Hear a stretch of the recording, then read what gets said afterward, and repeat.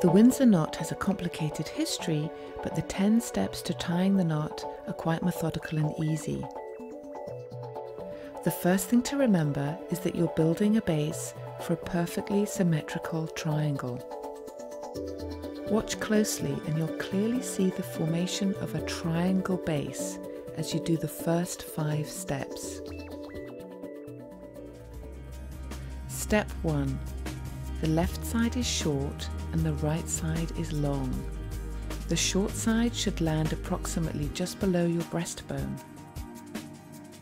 Step 2. Cross long over short. Step 3.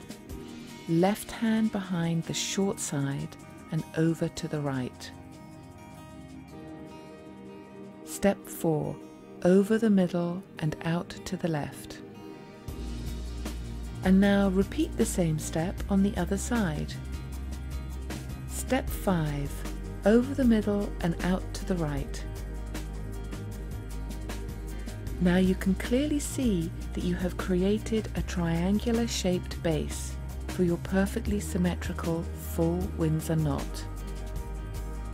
Step 6. Wrap the base triangle to the left. Step 7 up and over the middle.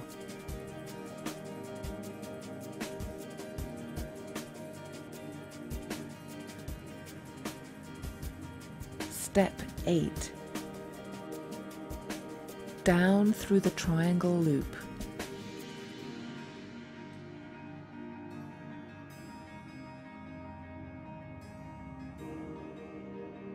Step 9.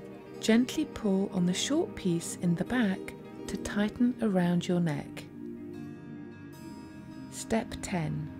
Pull on the front piece, shape and tighten.